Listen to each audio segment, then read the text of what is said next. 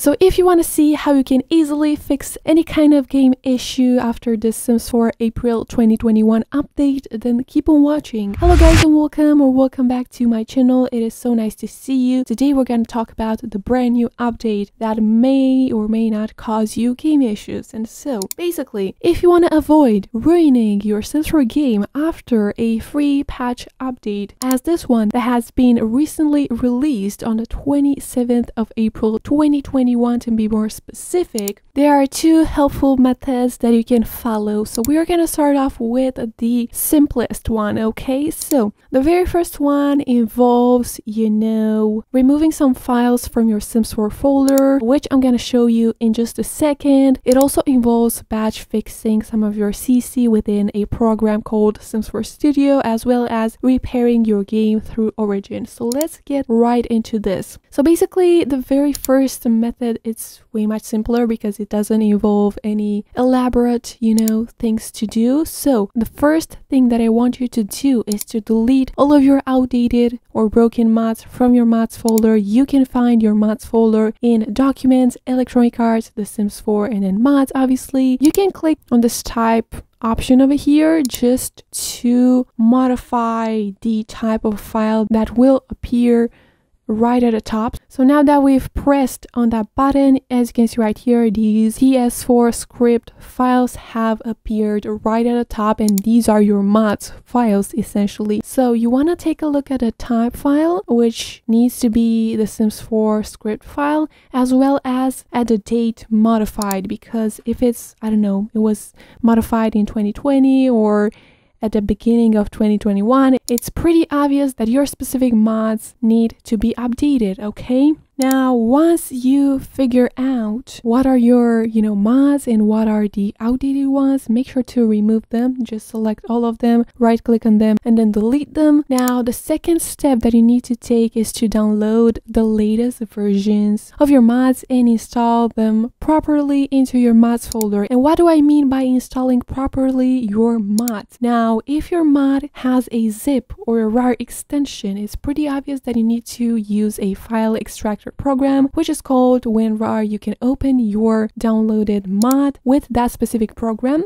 and you need to unzip your specific mod. You know, select all those files and then drag and drop them into your main mods folder, okay? Do not use subfolders. Now, if this replace option shows up, it means that you neglected to delete some files associated with that specific mod that you've recently deleted from your mods folder. So please always, always, always click on replace files just to make sure that your old mod is gonna be replaced by this updated one okay? So always press replace. Now the third step that you need to take is to go to your the sims 4 folder which can be found again in documents electronic arts and then the sims 4 and you will need to remove these following files local thumb cache.package options or options.ini as well as game version or game version.txt now once you've removed all those three files. You will need to step 4 repair your game through Origin. It's very very simple and intuitive. All you need to do is to go to your game library, right click on your Sims 4 game and then select repair. Step 5 you will need to remove your Sims 4, your Origin, your Steam or your EA Beta programs from your blocked apps list within your antivirus or you will need to add those programs and I'm talking about Sims, Origin or Steam or EA Beta to the exceptions or to the allowed apps list within your antivirus. It really depends on what antivirus program you're using. In my case, I just have this exceptions tab over here and I need to add my Sims 4, you know, program as well as my origin program to the exceptions list essentially. I'm using Avast if you're wondering, but you might have a different antivirus program that has a section called, I don't know, blocked apps. And uh, in this case, you will need to remove your Sims 4 as well as your Origin, Steam, or EA Beta from that blocked apps list. I truly hope it makes sense. Step 6 is to open your game. Step 7, you will need to allow mods, CC, as well as script mods in your game. You basically need to take these two boxes over here and then make sure to click apply changes. Do not forget about apply changes because this is the button that you know that creates the whole magic that you know just uh, makes things happen in the sims 4 so do not forget about apply changes. Step 8 is to completely exit your game. Do not minimize it just completely close it. And then step 9 is to relaunch your game and this list with mods and cc should show up and you can finally enjoy your game. Now uh, moving on to the second method which is a much more elaborate one. This involves resetting your electronic arts folder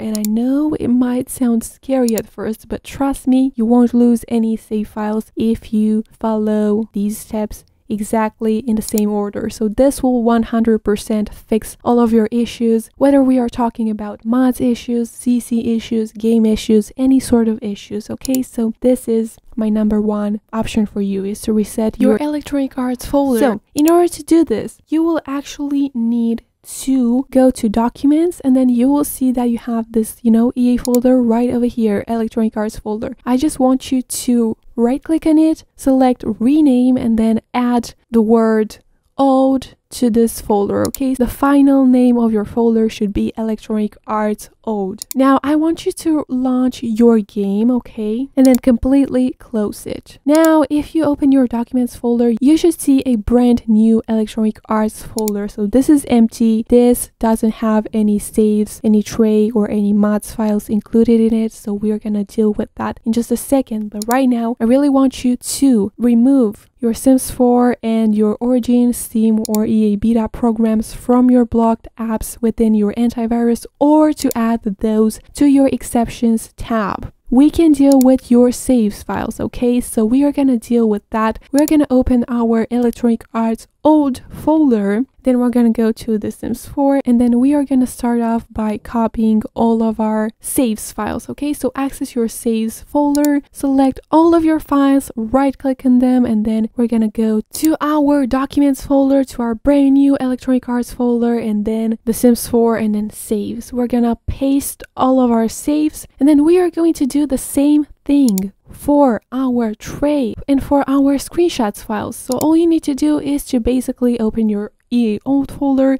go to the Sims 4 tray, select all of your tray files, copy them, and then go once again into your new Electronic Arts folder, the Sims 4 tray, paste them, and so on. Now, please bear in mind that I didn't mention copying your mods files, okay? And I did that on purpose because some of your mods might be outdated. So once you have copied all of your tray, all of your saves, all of your screenshots files. Do not delete your EA old folder. Instead, I just want you to open your game, go to game options, enable mods and CC in your game, apply changes, completely exit your game, and now please check if there are any updates for your CC or for your mods. So I always, always, always recommend, you know, checking out this website over here, which is the Sims 4 forum. And basically every single time an update comes out, you will find a whole new thread talking about the broken, outdated, you know, updated mods or mods reported as fine by creators. So please take a look at those. And if you happen to find your mod within that list, please just Google it and make sure to download the latest versions for your mods. Now install your updated mods properly. And what I mean by properly installing your mods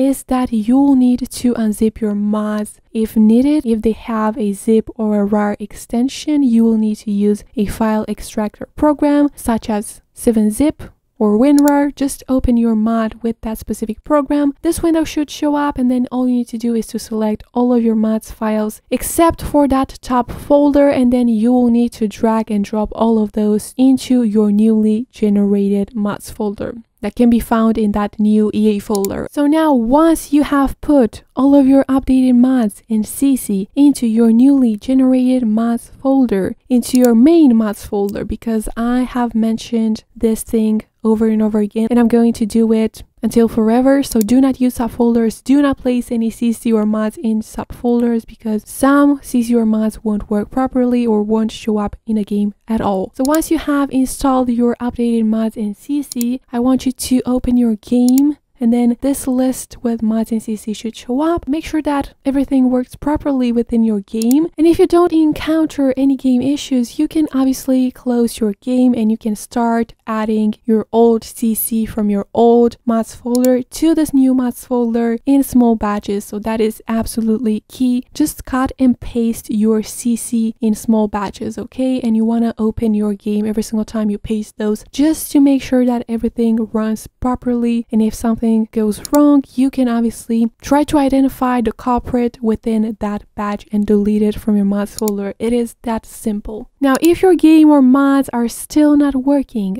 I am going to give you some more valuable tips, okay? So please make sure that one, you have properly reset your EA folder, okay? So you need to rename your EA folder in EA old and you need to generate a brand new folder. You don't need to create yourself a brand new EA folders. That should be generated automatically Make sure that you properly installed your updated mods in CC. So if those come in a zip or a RAR extension, make sure to unzip those and make sure to place all of your mods in CC directly into your mods folder and do not use subfolders. Now, certain mods do have instructions in regards to how to properly install that specific mod. So please pay attention to those as well. Tip number four, make sure that your Sims and Origin slash Steam slash EA Beta programs are not being blocked by your antivirus program. Tip number five, make sure that you allowed Sims 4 and Origin slash Steam slash EA Beta within your firewall. Tip number six, make sure that you deleted the game version, that txt local temp cache package, as well as options.ini files from your EA folder. Tip number seven, make sure that you repaired your game through Origin. Tip number eight, make sure that you enabled mods CC and script mods within your game. Basically, make sure that you ticked those two boxes and that you clicked apply changes and reopened your game. Tip number nine, make sure that your date and time are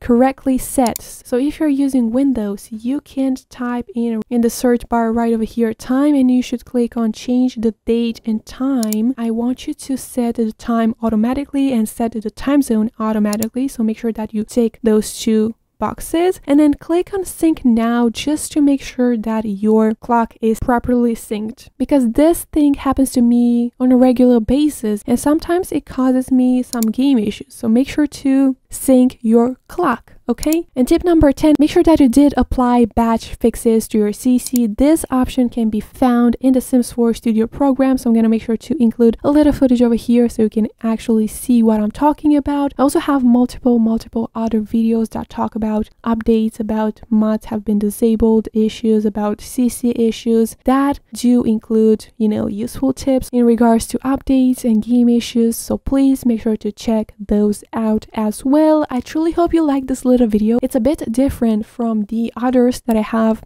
on my channel because this is I would say much more straightforward. Don't hesitate to let me know in the comments down below what other issues you are currently facing or experiencing and I'll make sure to help you out to the best of my ability. So if you find this little video helpful, make sure to subscribe, like, comment, all that good jazz. Hit a notification bell to be notified whenever I'm uploading a new video because it truly, truly means a lot. Thank you so much once again and I will see you very, very soon with a brand new video. Have an awesome day just like you. Bye guys.